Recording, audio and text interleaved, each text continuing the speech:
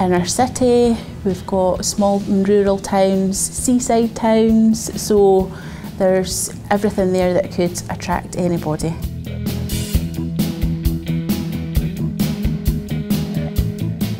We're in a, one of the biggest health boards in Scotland.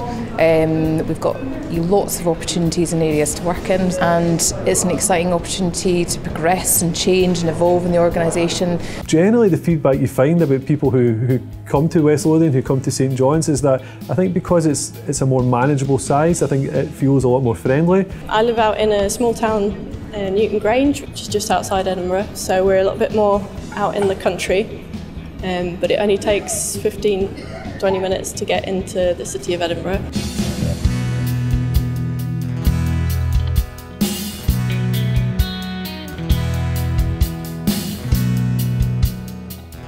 Come and be based in Lothian, come and live in Lothian and be part of the great opportunities you've got to do different things in the city of Edinburgh.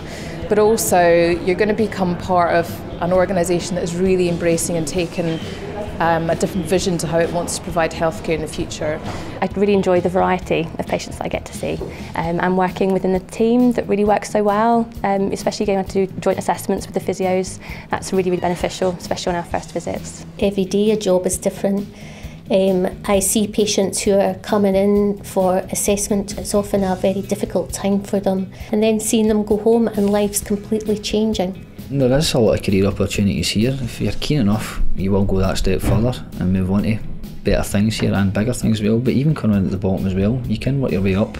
Living here, having been brought up here, it means um, it means my friends, it means my family, it means myself.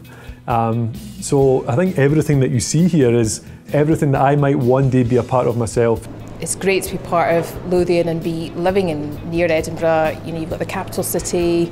That's part of one of the draws of you know working in this area. I think Lothian's just got so much to offer. Lots of lots of different things. Anybody could find anything that they they wanted here. You're going to be part of an exciting quality improvement journey.